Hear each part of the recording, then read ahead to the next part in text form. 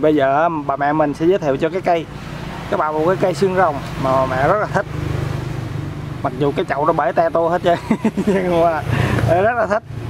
Rồi Nó đi. Kể câu chuyện nghe chưa? Cái cây xương rồng này là lúc ờ, lúc đó nó lúc đó mới mớ con mình mua về. Nó nhỏ xíu à. Nó lùng ở dưới này nè. Nó lùng khoảng này nè mà biết sao mình mê nó quá mình trồng viết từ từ nó nó nở ra quá đẹp.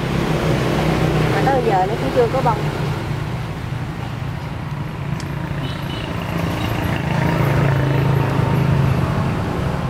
Cái cây này nè nó hồng mình không biết tên.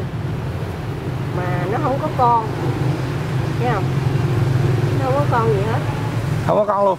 Không có con gì hết. Mấy cái cây này nè nếu mình muốn trồng nó á, là mình phải tách ra mình tách ra mình trồng một cây một cây thì chắc là nó bự như cái đó. Mình bây giờ mình không không mình thấy nó xung quanh nó gì đó nó, nó chùm vô gì nó rất là đẹp. Mà mình muốn nhân ra mình không không biết nhân ra nó Bằng cách nào? Nó bằng cách nào? À có nghĩa là lúc đầu con mua là nó bao nhiêu cây lại giờ lên nó bao nhiêu cây? là có đây thêm gì nó nó không có không có nhân chứ Nó không có đẻ con gì nó chứ không có đẻ con chứ nó gì nó chỉ lớn lên lúc đó nó nhỏ nó nhỏ này đó không? À. Nó nhỏ giờ từ từ mình trồng nó bự lên. Mà mình muốn trồng cho cái cây này nó bự lên á là mình phải tét ra hết mình mới phải lấy ra từ cũ từ cũ mình trồng à, Thì nó bự thì thôi. nó mới bự lên nó mới bự ra có thể là cái cây này nó bự ra. Ồ. Mà tại mình để chung vô gì á. Có thể nó sẽ bự gì nè đúng rồi mà mình mình để mình để chung á là là nó nó nhỏ nè nó không bự. Nó thành ra bây giờ mình muốn tách cái này ra để mình trồng từ cây từ cây từ cây thì cho cái cây này nó bự ra chứ này nó không có con. Cây này nó cũng rất là đẹp luôn.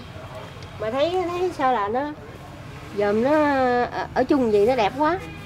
Mà mình tách ra chứ không biết đẹp không? Xe vòng vòng á nè thấy không À. cái chậu này là cái chậu bể nha bạn. Chậu bể mà giá ờ, tiếc À. của. Mà giá ờ, cũng bể tan nát trơn. Ở bên đây nó hơi bị lép nè. Nè bên đây có cây này nó bị nát à, ừ.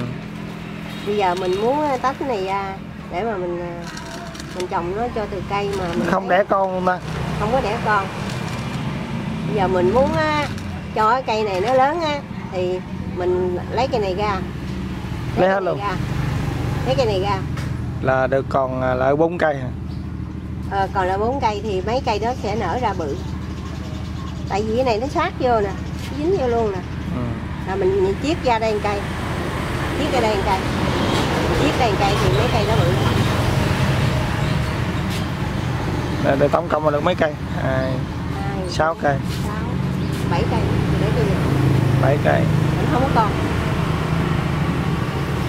Không có con khoảng cây đó. Cây này cây này mình lúc mình mua là mình không có biết cái tên luôn. Thấy người ta bán thì mình cứ mua. Quá mình thấy ngộ bây giờ luôn à, nếu mà mọi người nào mà có biết cái tên thì để lại bên dưới giùm. Cho nó biết. Không biết xương rồng này nó cái gì mà nó thấy nó cũng rất là đẹp. Dạ.